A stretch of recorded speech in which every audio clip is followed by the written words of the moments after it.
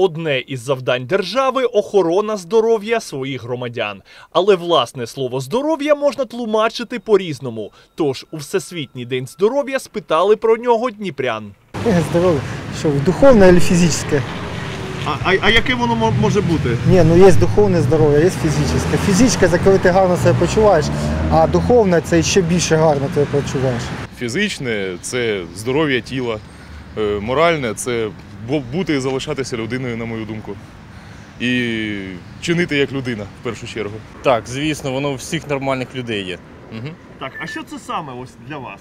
Самовідчуття е, відповідне, комфортне. Ну і, мабуть, е, основні показники, які е, з здравоохраненням визначені. Медики кажуть, здоров'я це стан фізичного, психічного та соціального добробуту, а не лише відсутність хвороби чи дефектів організму. Може бути зовсім людина нічого не хвилює, але його хвилює інші питання. У нього можуть бути якісь душевні переживання, можуть бути якісь соціальні негаразди. Зараз ми живемо в такому ритмі пандемії, і кожен знаходиться в якомусь пригніченому настрої. Тобто, це все складові нашого здоров'я. Крилатий вислів спорт це здоров'я, міф чи правда. Оператор 9 каналу Дмитро Большак у минулому професійний спортсмен. Почав займатися фігурним катанням у 3,5 роки. Зауважує, зворотній бік медалі саме професійного спорту, травми і захворювання, та навіть депресії і психологічні проблеми. Спорт это не только победы, это еще разочарование, это еще большие психологические нагрузки.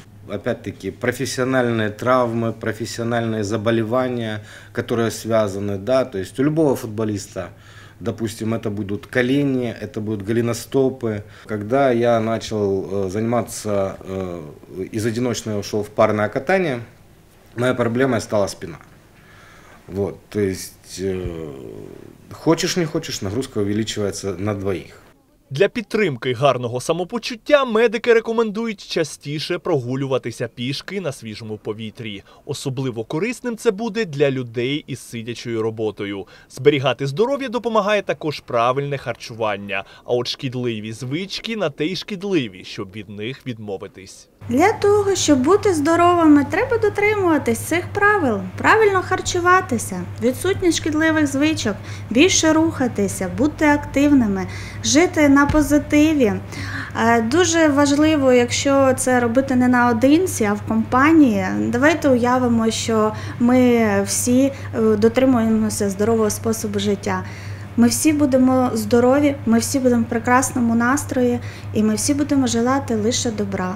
Стас Коновалов, Олександр Наумов. Новини 9 каналу.